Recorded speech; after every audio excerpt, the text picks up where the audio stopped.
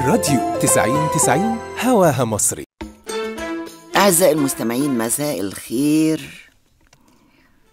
جامعنا النهاردة هو مسجد زاوية الجيوشي بسفح جبل المقطم وأنت ماشي والقلعة على يمينك تضرب عينك كده على جبل المقطم تلاقي جامع بقبة ومئذنة فوق في الجبل مدهون أبيض جير أبيض كده للأسف إنما هو ده جامع الجيوشي وده عمره ألف سنة.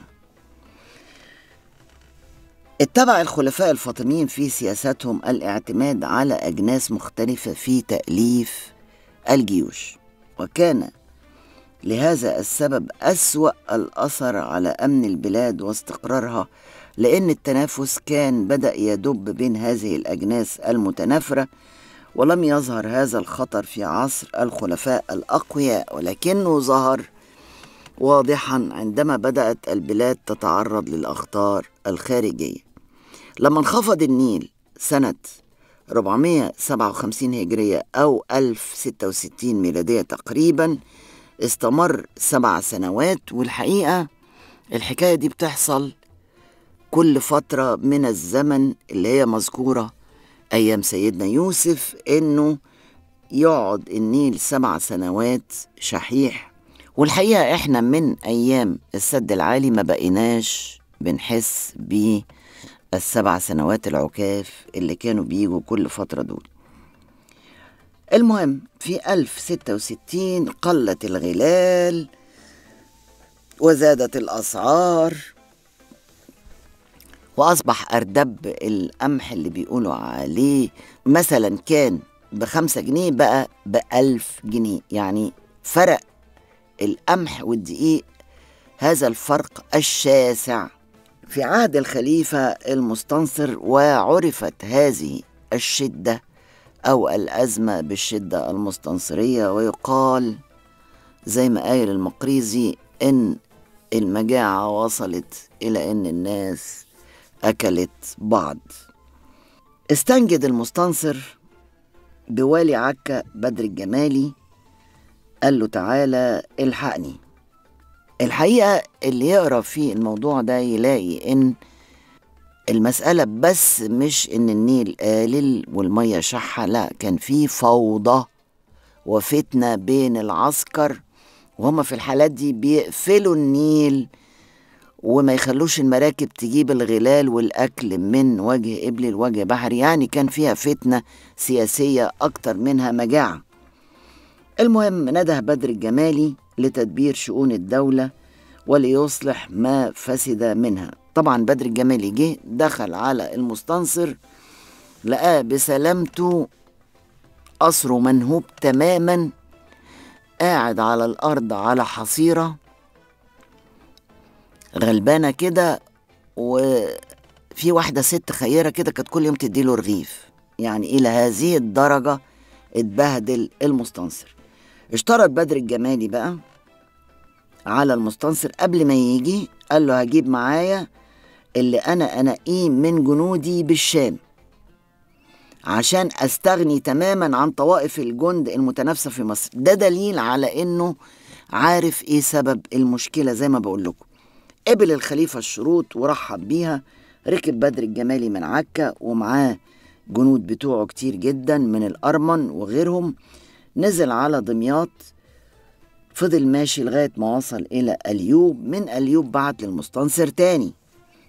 قال له أنا مش هخش القاهرة إلا بعد قتل القائد التركي اللي كان سبب في فتنة العسكر وكان اسمه بلدكوش.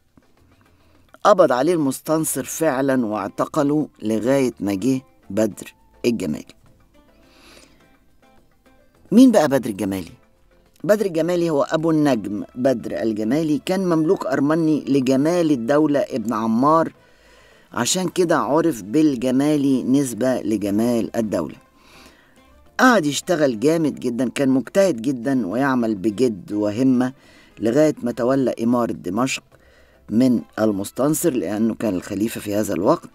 ثم تقلد نيابة عكا أول ليلة وصل فيها مصر. قبض على جميع أمراء الدولة وقتلهم. أقول لكم قتلهم إزاي بعد الفاصل. عمل إيه بقى بدر الجمالي عزم كل الأمراء بتوع الجنود في بيته على العشاء والبيات بيتهم عنده وأمر جنوده بأن هؤلاء سوف يقومون ليلا لقضاء حاجتهم في الخلاء. ما كانش فيه حمامات. وهكذا كل من قام إلى الخلاء قتل. واحد ورا التاني ورا التاء خلص عليهم. أنعم بقى على جنوده بكل ما يمتلكه الأمراء من دار ومال وضياع. كل اللي يقتل واحد ياخد اللي حيلته لما طلع فجر اليوم التالي كانت رؤوس الأمراء الجند بين إيدين بدر الجمالي. تحكم الجمالي في مصر تحكم الملوك ولم يكن للمستنصر عليه أي أمر. ضبط الأمور في مصر كان شديد الهيبة والسطوة قتل من الجنود عدد كبير جدا ولكنه عمر البلاد وأصلحها بعد فسادها وخرابها بقتل المفسدين منها. أباح الأرض بقى للمزارعين دي أذكى حاجة عملها. ثلاث سنين من غير ضرائب. قال للفلاحين ازرعوا وكلوا وبيعوا. ثلاث سنين من غير ضريبة. لغاية ما تحسنت أحوال الفلاحين أيامه واغتنوا والغلة والخير والخضار والفاكهة كتروا وملوا البلد وعاد التجار إلى مصر لكثرة عدله بعد أن كانوا تركوها أثناء الشدة. من أهم آثاره في القاهرة الأبواب الثلاثة القوية طبعا بسور القاهرة اللي هو باب الفتوح وباب النصر وباب زويلة اللي أعاد بنائهم بالأحجار الضخمة وبنى سور القاهرة الحالي الضخم. كانت مدته في مصر 21 سنة. اختلف المؤرخين على مكان قبره. فيهم اللي قال إنه مدفون في الجامع الجيوشي في المقطم اللي فوق اللي أنا بقول لكم عليه ده. ناس تانية قالوا لأ ده مدفون في آه باب النصر اللي هي خارج باب النصر. الله أعلم لغاية دلوقتي محدش أجزم بمكان دفن بدر الجمالي المسجد بقى وفي ناس بتسميه الزاوية على قمة جبل المقطم في مواجهة قلعة صلاح الدين وفوق جامع أخوه يوسف مباشرة يوسف أخو صلاح الدين. هو طبعا الأقدم هو بدر الجمالي ويوسف جه بعديه عمل الجامع بتاعه تحتيه. الزاوية دي بتطل على منطقة القرافة الصغرى بتاعة الإمام الشافعي وبتطل على نيل مصر القديمة هي عبارة عن مستطيل مقسوم نصين بالظبط متماثلين تماما. 15 متر عرض في 18 متر طول. المدخل تحت المئذنة مباشرة. المحراب مزخرف بنفس زخرفة الجامع الأزهر. وسط القبة من جوه اسم محمد وعلي مكررين ثلاث مرات. ده يا جماعة في كل جوامع الشيعة يعني تخش جامع الحاكم هتلاقي دواير في كل الجامع محمد وعلي محمد وعلي محمد وعلي كل الجوامع الشيعية. كويس؟ نص الجامع فوق فوقيه قبة والآخر فوقيه المئذنة. يعني هو مقسوم اتنين النص فيه قبة والنص التاني فيه مئذنة. شكله جميل قوي على فكرة.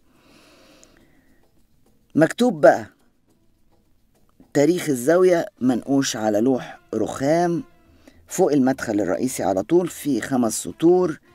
منها إنه أنشأ هذه الزاوية مولى أمير المؤمنين الإمام المستنصر بالله أمير الجيوش في محرم 478 أو 1085 ميلادية. خلصت حلقتنا والجامع بتاعنا النهارده. نتقابل بكرة إن شاء الله على كل خير.